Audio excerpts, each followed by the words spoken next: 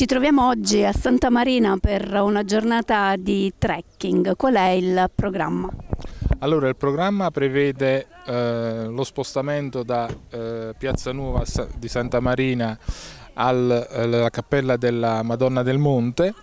Di lì partiremo eh, per uno sterrato che eh, è lungo circa 6 km, un dislivello grosso modo di 500 metri e arriveremo a Policastro dove eh, praticamente ci sarà eh, un rinfresco e eh, dopo la visita gu turistica guidata alla cattedrale, alla parte archeologica.